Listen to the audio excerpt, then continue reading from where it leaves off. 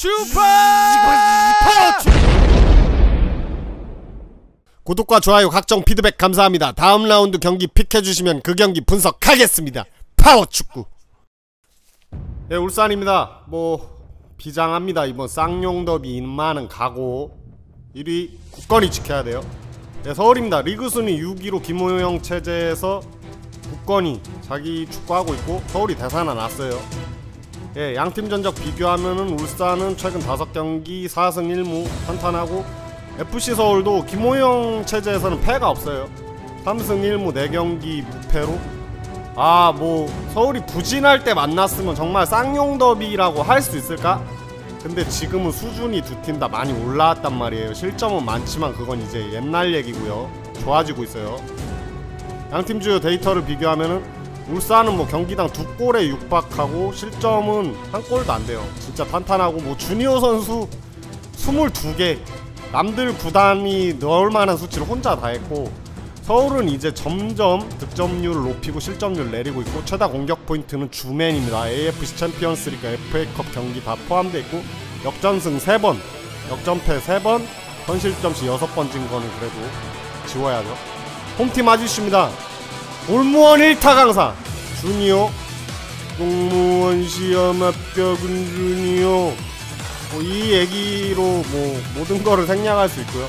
진짜 압도적이에요. 정말 주니오 선수 미쳤습니다. 진짜로. 예, 이번 경기에서도 방점을 찍을 수 있을지. 원정팀 아디슈입니다.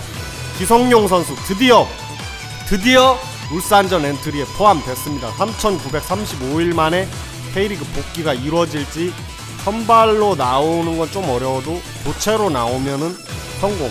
오히려 선발 나오면서 후반에 빼는 것도 어쨌든 기성용 선수 나옵니다. 진짜. 네, 골모원대 주맨 네, 준우이호 선수 1508분 동안 아 20경기 20골 2도움 라운드 베스트 10번 했고 K리그 단독 선두 득점 1위 박주영 선수 어려운 팀 상황에서 베테랑의 존재 가치를 뽐내줘야죠. 박주영 선수 원래 큰 경기에 강하거든요. 1308분 19경기 5골 2동 큰 경기 판독기 주맨입니다. 볼모원대 주맨! 승리를 지켜주리라. 불투이스 선수 1405분 동안 17경기 출전해서 거의 8할 때 가까운 경기 출전 비율을 보이고 라운드 베스트 2위 높이에서 강점이 있고요. 황현수 선수 역시 1159 분 동안 13경기 1골 1도움. 부상으로 그렇게 많은 경기를 나서지 못했지만 과거 얘기는 필요 없고 지금은 꾸준하게 좋다는 게 좋은 겁니다. 뒷감당은 내가 할게. 조현우 선수 뭐 국가대표 골키퍼이자 스타군단 울산의 최후 보루고 1710분 동안 19경기 clean sheet 10번이에요. 실점은 11골밖에 안 내줬습니다. 양한빈 선수 뭐 주전은 아니었지만 김호영 체제에서 꾸준히 힘 실어주고 있고 최근 5경기 연속 선발 540분 동안 6경기 2번의 clean sheet. 이제 주전은 양한빈입니다. 뒷감당. 예, 홈팀 득점 시간대를 보시면은 울산 호랑이 군단은 후반에 강했습니다. 후반 6분에서 10분, 41분, 45분 5골 구간인데 와 이 5골 구간 두 라인 중에서 합치면 10골인데 그 구간 속에서도 역시 골무원 1타 강사 주니오가 5골이나 잡아냈습니다. 호랑이 군단 진짜 뒷심이 좋아요. 원정팀 득점 시간대를 보시면은 뭐 서울이 그렇게 많은 골을 넣지는 않았지만 그래도 서울도 할 말은 있죠. 서울은 경기를 90분으로 놓고 보면은 35분에서 60분 사이에 8골을 장렬했고 36분 40 후반 11분에서 15분이 3골 구간인데 이 구간에서 조영욱 선수가 두 골로 가장 많은 골을 넣습니다. 근데 조영욱 선수 지금 부상이죠. 안타까워요. 홈팀 포메이션 분석을 보시면 뭐 울산은 노빠꾸 4-5-1이죠.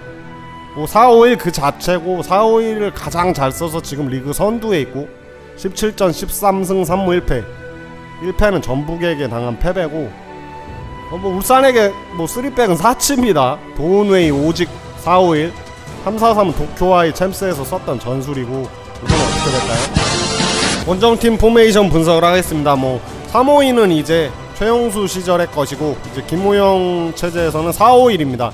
4전 3승 1무 승률 좋죠.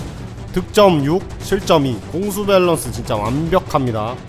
이제는 서울은 451이 진짜 서울이 지금 거뒀어야 할 승률이 아닌가 싶을 정도로 지금 아주 좋아요. 예 이제 드디어 나왔습니다. 쌍용 더비 이청용 선수, 기성용 선수의 용자를 따서 쌍용. 필드에서 우정은 이제 잠시 접어야 되고 이청용 선수가 먼저 K리그의 터를 다시 잡으면서 1062분 동안 16경기 4골 2도움 기성용 선수 올 시즌은 딱 두 경기 뛰었죠. 뉴캐슬 마요르카에서 교체로 아주 조금 뛰었지만 뭐 이걸로 두 선수를 다 말하겠어요 어떻게 예, 뭐 아시다시피 이번이 첫 번째 쌍용 더비는 맞아요. K리그에서. 근데 사실 두 번째인 게 EPL에서 맞붙었습니다. 이청용 선수는 크리스탈 팰리스 소속, 기성용 선수는 스완지시티 소속이었고 둘 다 후반에 교체 투입됐는데 한번 맞닥뜨렸어요. 후반 31분에 크리스탈 팰리스 역습 과정에서 이청용 선수를 반칙으로 끊어냈고 이제 선의의 경쟁을 펼친 끝에 뭐 공평하죠. 0대 0으로 비기고 두 선수 악수를 나눴죠. 예, 이청용 선수가 걸어온 길을 보시겠습니다. 뭐 볼튼에서 진짜 전성기를 보내고 뭐 볼튼의 소년 가장이라고 할 정도로 어마어마했습니다. 크리스탈 팰리스 보험 그리고 이제 대한민국 국가대표에서는 89경기 9골 서울에서는 35경기 4골 7도움 이제는 서울이 아니죠. 이제 울산에서 16경기 4골 2도움으로 커리어 이어 나가고 있는데 이청용 선수 심정이 어떨까요? 서울을 상대하는 예, 기성용이 걸어온 길입니다. 기성용 선수도 이청용 선수 못지않죠. 스완지시티, 셀틱에서 전성기를 보냈고 썬덜랜드와 뉴캐슬 유나이티드에서도 합쳐서 50경기 넘게 소화를 했고 예, FC 서울로 다시 돌아왔잖아요. 57경기 6골 15도움을 올렸고 대한민국 국가대표로서의 그의 가치는 더 빛납니다. 110경기 10골, 월드컵도 나가고 뭐 아시안컵도 후배들이 이끌고 정말 기대되는 진짜 두 선수 커리어 엄청난 거예요. 포메이션 봅시다. 뭐 4월 대 4월 울산은 정승현 선수가 못 나와서 그 자리를 김기희 선수가 나올 걸로 보이고 이번에 원두재 선수보다는 윤빛가람 신진호 고명진으로 그냥 허리에 무게 팍 실어서 승부수 보고 이청용 선수 오른쪽 그리고 서울은 박주영이 부진하긴 하지만 큰 경기에 강해서 선발 예상해보고 기성용 선수는 교체 출전을 예상해보겠습니다. 네, 최근 리그 맞대결은 K리그 8라운드에서 만났는데 서울 홈에서 울산이 2대0으로 이겼습니다.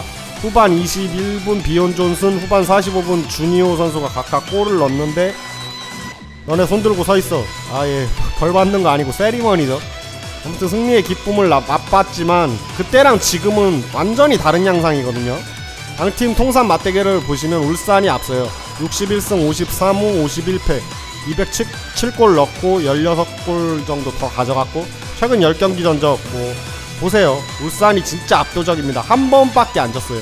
몇 년 전으로 거슬러 가야 돼요. 쌍용 너비 감사합니다. 슈퍼 파워